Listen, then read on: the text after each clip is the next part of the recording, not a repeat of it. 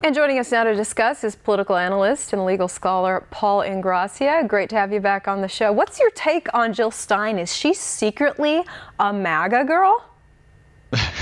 well, the way that the Democrats are treating her and the way that Kamala Harris and AOC are fretting about her being on the ballot in in certain states, I think so. I mean, um, you know, obviously this election could be close. I mean, I think Donald Trump is, you know, in recent weeks especially, is really pulling away with the the leads, at least based on polling and what we're seeing sort of in betting markets and on the ground grassroots momentum. But, you know, again, if it, it comes down to being another close race, you remember back in 20, uh, 2016, you know, this race uh, between Hillary Clinton and Donald Trump was decided by like 50,000 votes between three or four swing states. So, you know, Jill Stein, even though she might only get one or 2% of the vote, maybe at most, that could be enough to sway a state like Michigan, which is very close.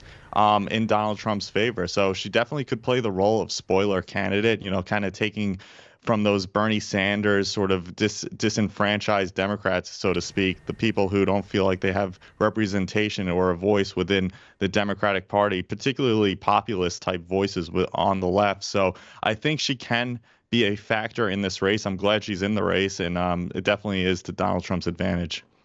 Yeah, MSNBC said they've never seen Democrats run ads against a third party like this. And uh, Trump says he's a big fan of Jill because she pulls 100% of the votes away from Kamala.